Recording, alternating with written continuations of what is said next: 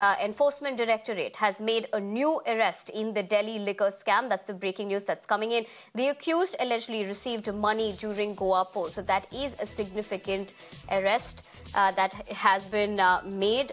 Remember, the ED has made several arrests in terms of the Liquorgate scam. So what we're picking up so far is that another arrest has been made. Let me cut across to my colleague Bhavatosh, who's joining me on the broadcast over the phone lines. Uh, Bhavatosh, uh, good morning. This is, of course, a huge, significant development in terms of the fact that another arrest has been made. Give us more details about the person in connection and the allegations, because the ED had also earlier said the proceeds of crime from the liquor scam was used in the Goa poll campaign by the Aam Aadmi Party.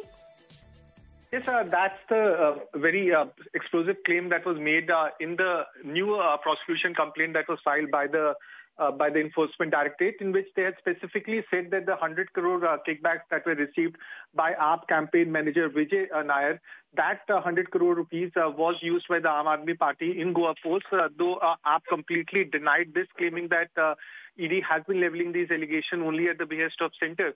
But uh, Chariot Advertising uh, received money which was basically in form of cash and despite knowing that uh, receiving any cash payment uh, is illegal and illicit uh, cash payments are uh, completely illegal, uh, Rajesh Joshi continued receiving that money. He was called in for questioning by the Enforcement Directorate here in New Delhi where uh, this case is registered.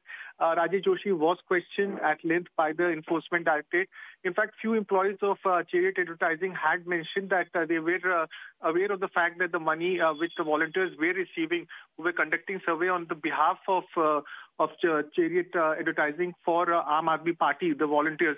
They were receiving money in cash, which uh, and they in fact brought this notice uh, to Chariot Advertising, but this was never put across Aam Aadmi Party. Subsequent to the questioning that happened by the enforcement directorate yesterday, uh, Rajesh Joshi has been placed under arrest. Yesterday also, one important arrest had taken place in which uh, Gautam Malhotra was arrested in this case. Uh, Rajesh Joshi will be uh, will be uh, produced before the relevant court.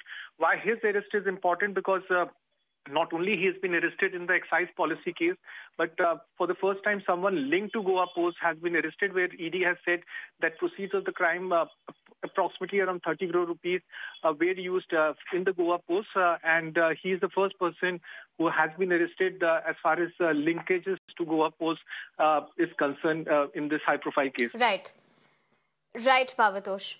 Absolutely, a significant arrest that has been made, but for the moment we'll leave it at that. But of course, going to keep coming back to you.